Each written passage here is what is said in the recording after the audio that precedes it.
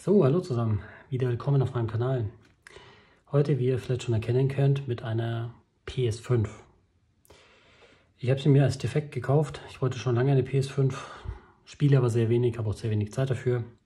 Deswegen habe ich mir gedacht, kaufe ich mir noch eine defekte und versuche sie zu reparieren, um ein bisschen Geld zu sparen. Ich habe sie als defekt gekauft. Die Ports sind in Ordnung, wurde gesagt. Das einzige Problem ist, dass sie sich ausschaltet nach einer gewissen Zeit. Hm, warum wird sie sich wohl ausschalten? Weil hier irgendjemand mit Gewalt versucht hat, das Lüftergitter zu entfernen.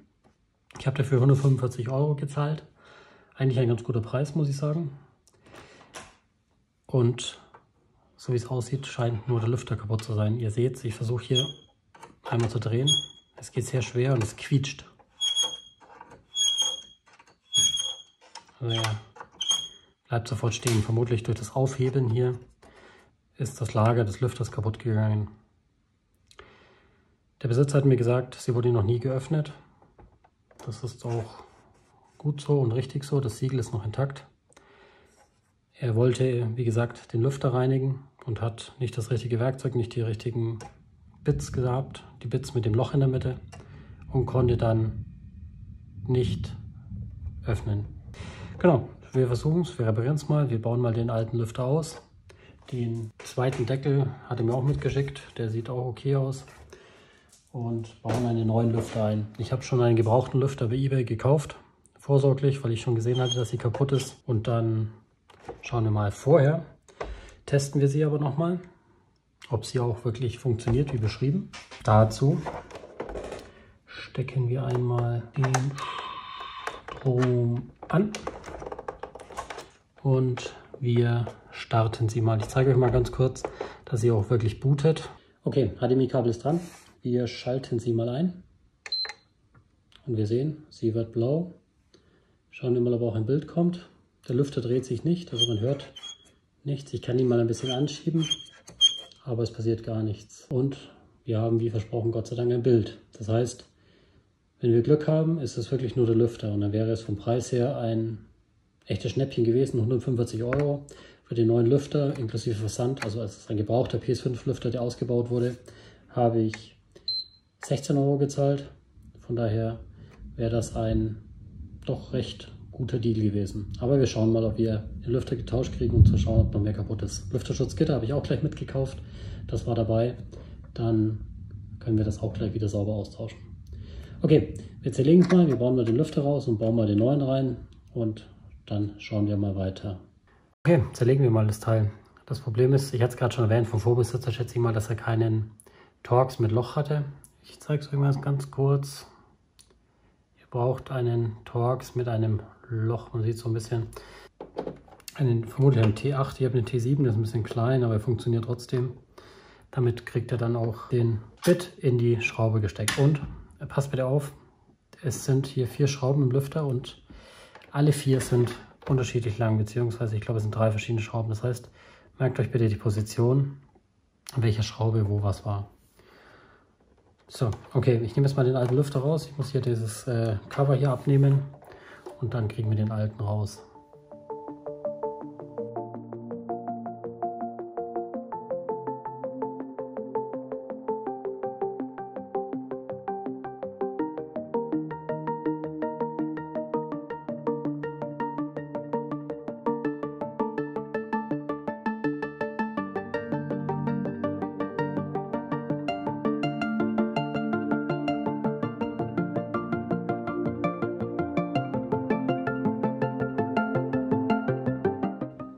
Okay, ihr habt es gesehen, hier einfach ziehen, dann geht das Ding raus, mehr oder weniger leicht. Ich habe auch mal nochmal das Cover mir angeguckt, also da muss jemand schon wirklich massiv Gewalt angewendet haben, um das so zu verbiegen. Also es ist schon relativ fest. Und um das so zu zerstören und so zu zerbiegen, ich weiß nicht, was Leute mit ihren Konsolen anstellen, aber ich zeige euch nachher noch am Schluss, wenn ihr dran bleibt, nochmal ganz kurz die Konsolen, die Controller, die ich mitgeliefert bekommen habe zu dieser PSP. Dann versteht ihr vielleicht, was das für ein Typ war, dem diese PSP gehört hat, wenn ich euch am Schluss die Controller zeige. Also bleibt ruhig dran. Okay, der Lüfter ist jetzt locker. Vier Schrauben sind raus. Hier zeige ich euch nochmal die vier verschiedenen, drei verschiedene Schrauben. Also wichtig, nicht vertauschen. Und jetzt kommt das Allerwichtigste. Man sieht bei PSP-Reparaturvideos so oft, dass jemand diesen weißen Konnektor hier abreißt, rausreißt. Man hat hier einen weißen Konnektor, der in einem anderen weißen PCB-Konnektor auf dem Board verlötet ist. Er scheint eine ziemliche Schwachstelle zu sein, weil so viele von den Dingern abgerissen sind in Videos, dass ich mir nicht vorstellen kann, dass alle möglichen Leute hier irgendwas falsch machen. Deswegen vorsichtig sein, Zeit lassen. Nehmt euch ähm, Plastikhilfsmittel, wackelt leicht daran und nehmt ihn ganz vorsichtig raus. Nicht einfach dran ziehen wie die Verrückten und schon gar nicht mit einer Zange das äußere Weiße hier malträtieren. Wenn ihr den abreißt, dann wird es hässlich. Dann müsst ihr die komplette Konsole zerlegen und müsst versuchen, den wieder anzulöten. Also am besten, wenn ihr zieht, das äußere gegendrücken, dass gar nicht so viel Zug an das eigentliche Teil kommt. So, okay. Er ist raus. Jetzt können wir mal den ganzen Lüfter rausnehmen im besten Falle. Und da ist das gute Teil. Man sieht jetzt auch, wie verbogen er ist. Ihr seht es hier, der Spalt. Also er hat hier schon jemand massiv Gewalt angewendet. So sollte es sein. Und hier an der Seite, ihr seht es hier, diesen Spalt hier. Den hier. So sollte es nicht sein. Quietscht auch schön dezent. Hässlich. Okay, das Ding ist eigentlich reif für den Schrott. Jetzt schauen wir mal rein. Er hat gesagt, er wollte sie sauber machen. Schadet nicht, sie sauber zu machen mal. Ich werde sie jetzt mal aussaugen. Und dann bauen wir den neuen Lüfter ein.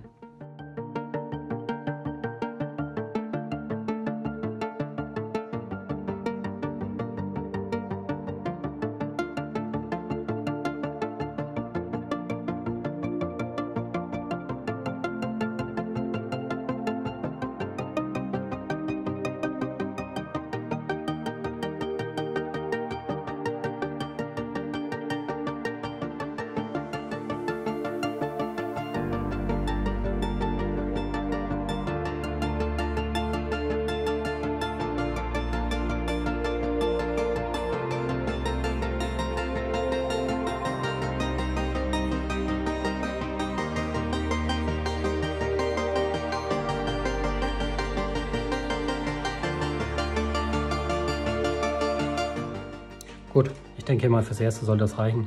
Ich habe sie jetzt so relativ kompliziert ausgesaugt, um das Siegel intakt zu lassen. Ich wollte jetzt ungern das Siegel brechen, weil das doch immer einen gewissen Wertverlust mit sich bringt. Und ich werde es jetzt mal so versuchen. Das ist schon deutlich besser geworden als vorher. Die großen Staubflosen sind raus. Der Kühlkörper ist wieder frei. Ich teste sie jetzt mal, ob sie so läuft oder nicht. Wenn sie wirklich sehr laut sein sollte, muss man sie halt mal komplett, komplett zerlegen, mal gucken, wie das Liquid Metal verteilt ist, ob da irgendwas durch den Transport vielleicht verlaufen ist oder sonst was. Aber egal, wir wollen ja eigentlich erstmal den Lüfter tauschen und das machen wir jetzt auch mal. Hier das Paket mit meinem Ersatzlüfter, das ich bekommen habe. Das machen wir jetzt mal auf. Sollte eigentlich laut Beschreibung der gleiche Lüfter sein. Aus einer PS5 ausgeschlachtet, vermutlich. Okay, nicht genau der gleiche. Ihr seht schon ein bisschen optisch, ein bisschen Unterschied. Heißt aber nicht, dass es kein Originallüfter ist. Ich glaube sogar, ja, keine Ahnung. Ich glaube, Sony hat das sicherlich auf verschiedene Chargen verbaut. Rein, rein bautechnisch sieht er ein bisschen anders aus, aber ansonsten passt er auch. Also das ist der alte, den legt man mal weg. Und jetzt seht ihr den neuen. Ups, sorry, das war das Kabel, das sollte man nicht tun. Der schon deutlich smoother läuft als der alte. Okay, den setzen wir jetzt mal rein und dann testen wir mal, ob er läuft.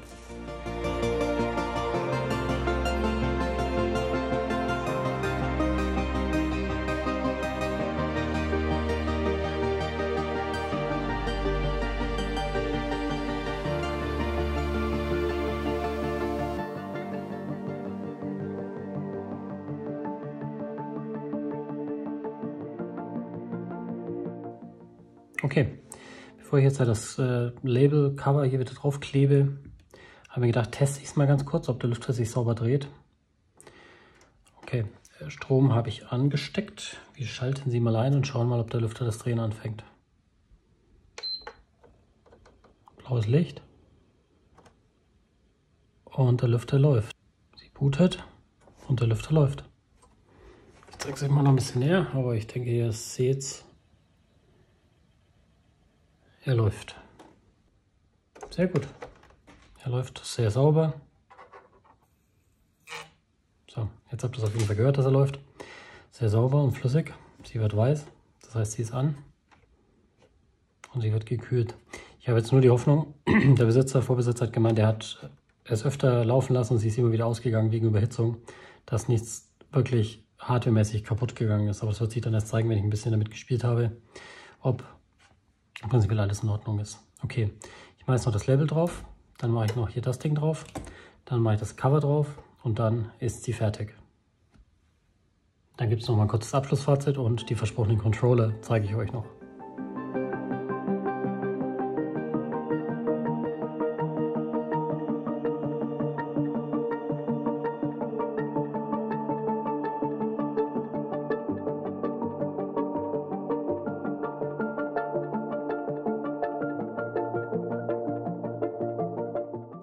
Okay, sollte wieder funktionieren. Ich werde es jetzt dann nachher, wenn das Video fertig ist, noch ein bisschen sauber machen. Einmal kurz mit dieser Propanol drüber gehen, die Flecken ein bisschen wegmachen, aber ansonsten sieht sie doch eigentlich sehr gut aus. Die Schraube für den Fuß unten muss ich noch erneuern. Da war der Fuß dabei, aber keine Schraube. Aber gut. Okay, äh, was ich euch noch versprochen hatte, ich sollte euch noch die Controller zeigen. Und die Controller sehen so aus. Das waren die Controller, die dabei waren. Wundert ihr euch noch, dass jemand das Lüftergitter so reparieren wollte, wenn seine Controller der PS5 so aussehen? Ich habe keine Ahnung, ob er damit noch gespielt hat oder nicht, aber naja, ich weiß nicht, wie viel Gewalt man braucht, dass die Controller so aussehen. Aber okay, kein Problem für mich. Wie gesagt, mein erster PS5. Ich habe mir gleich noch einen neuen Controller dazu gekauft, beziehungsweise ebenfalls einen defekten mit Stickdrift. Der hat hier eine Stickdrift. Den werde ich auch noch reparieren in einem weiteren Video. Und dann habe ich hoffentlich eine funktionierende PS5 und einen Controller für unter deutlich unter 200 Euro. Okay, ich hoffe, es hat euch gefallen.